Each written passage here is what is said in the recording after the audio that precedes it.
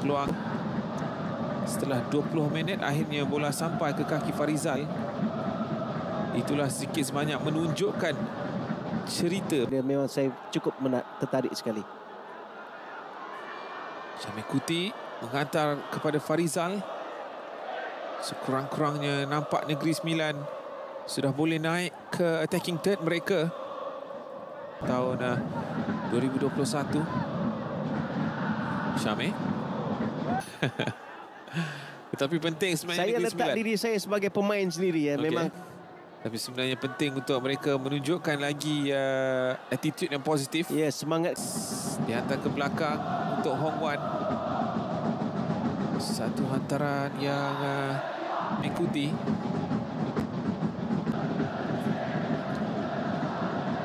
tapi ditanduk keluar di situ Kali itu kita balik bagaimana Zamri dilayangkan kad kuning kerana melakukan dangerous play.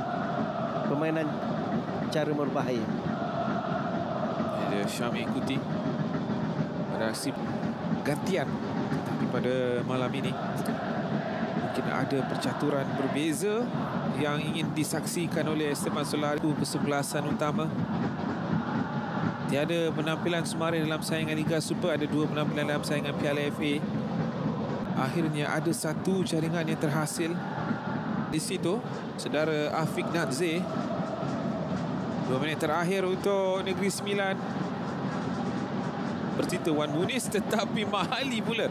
Hilang bola tapi sampai semula. Kuasaan yang begitu ketara uh, berjaya dilakukan oleh pemain-pemain jadi Hentikan Wan Muniz Yang uh, berjaya menghasilkan dua assist dan satu gol Wan Muniz Mungkin untuk Esteban Solari Tapi Oh. apabila beliau kita dah balik ke satu robohan ataupun late Ya.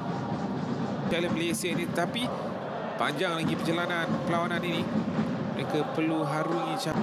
Zamri dengan satu hantaran. Oh baik gerakan ini. sedia tercipta untuk pihak pihak uh, untuk kawan anda melakukan Sudah agak lama sebenarnya beliau tidak turun. Beliau ada melakukan penetration ke bahagian defensif third Negeri Sembilan eh, untuk menewaskan daripada jauh bukanlah perkara yang uh, mudah.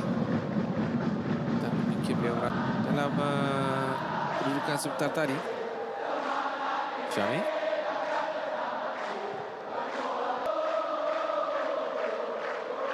Nampak JDT tidaklah begitu tergesa saingan Piala Malaysia kesemuanya daripada bangku simpanan.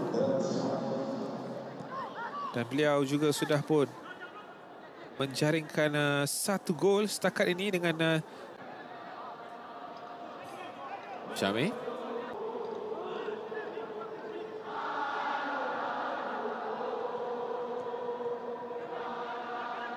Kuti. Walaupun beliau sebenarnya lebih banyak bertugas selaku centre back untuk separuh masa pertama tadi. Selalunya dalam situasi ini apabila sebuah pasukan menguasai permainan Selalunya pasukan lawan akan banyak melakukan counter attack Tetapi lihat Negeri Sembilan Mereka nampak agak sedikit lambat apabila mereka naik ke atas Penguasaan penuh oleh jauh Tangan yang baik kerana sampai kepada Sean Pati apa yang dikendaki dalam situasi itu. Semestinya satu gol ketika aksi perlawanan pertama di Negeri Sembilan manakala satu lagi gol terhasil pada aksi perlawanan kedua mereka menentang Kelantan. Coach ataupun sebenarnya mereka yang Syamil. Masih sebenar beliau kerana dalam saingan Liga Super dalam 17 jaringan yang dihas tugasan uh, penjaga gol utama itu Kesudahannya. Syamil Ke- Kekacaran. Ya. Coach merasakanlah untuk JDT uh, kejuaraan sekarang tumpuan akan terarah sepenuhnya kepada saingan hingga kepada palang saja sebelum melantun keluar bola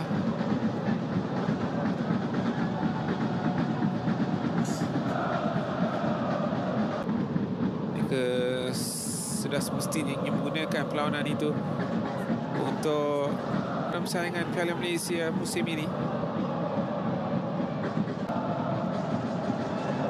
Syamil